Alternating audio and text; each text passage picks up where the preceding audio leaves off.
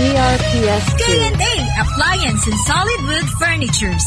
Nagabaligya it mga solid wood furnitures nga locally made sa probinsya it Capiz. Nagaubra it mga masunod, sala set, dining set, platera, divider, buffet tables, katre, aparador, dresser, agmabo pa. What now DRPS2. payment, straight monthly pay yang.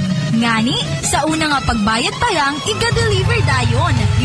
Ginakalipay nga ginapaabot nga nung K&A Appliance and Solid Wood Furnitures, high otorisado nga dealer it branded appliances, kapareho it Sony Electronics, LG, Philips, TCL, Conjura, DRPS2. La Germania and higher, mga nagapanguna nga brands sa bilog na kalibutan. Rong K&A Appliance and Solid Wood Furnitures, hay may daywagon nga branch sa Aklan.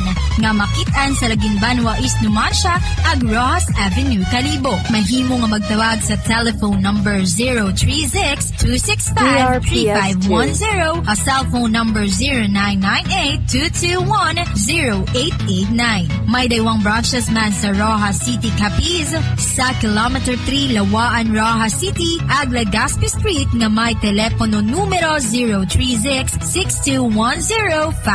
036-6210-541. A cellphone number DRPS2. 0947-89-21153.